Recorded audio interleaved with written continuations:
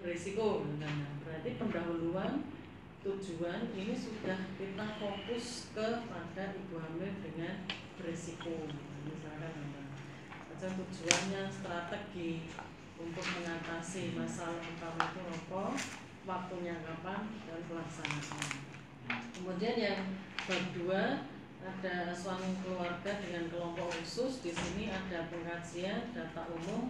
Ini tentunya tidak lari demografi yang sudah ada di sebelahnya ya.